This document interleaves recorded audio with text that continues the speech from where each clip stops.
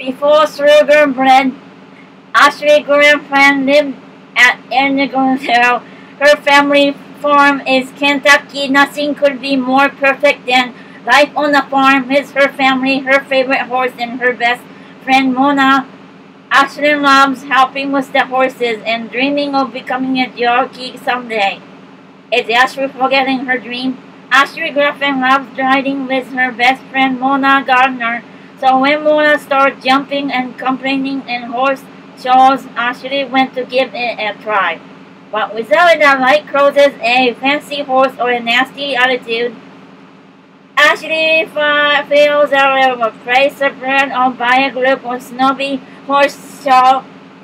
Will she rise to the challenge, demanding to beat them at their own game. Soon Ashleigh and Stardust and, and are jumping and throwing out our time and winning too. But no matter how good she gets, Ashleigh still wants to be jockey, doesn't she?